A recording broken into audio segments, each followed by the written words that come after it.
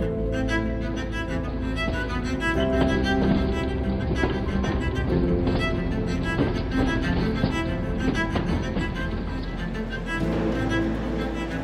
in the fifth generation family-owned business. When I came to work here in 87, we was sawing about 150,000 board feet a day. Now we're doing, you know, 650 or better a day in 10 hours. My title at Culp Lumber is maintenance manager.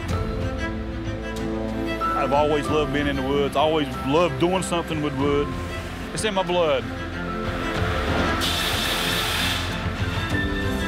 And then when I came to work here with all this automation, I was like, wow, man, this is where I want to be. Charlie Smith, he's a great guy.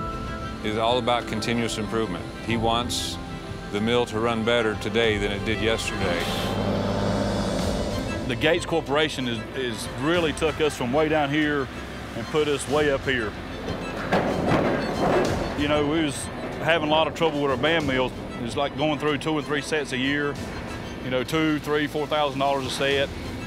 So John comes by our Gates guy and says, you know, have you ever thought about putting a poly chain on the band mill?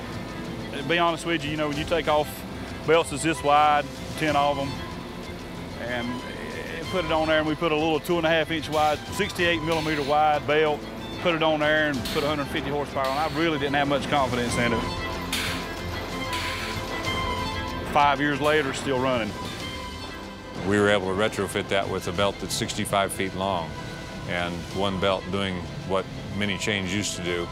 He got away from backlash, he got away from retensioning, got away from safety issues when the boards were falling off on the workers. Now our bands is exactly where they're supposed to be, but better than that. Now we don't have a guy pouring oil on it. We never have to retension it.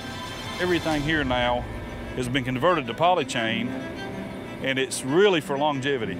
And how long the poly chain lasts, you know, call me up in five years, all I can say, and then maybe I'll know.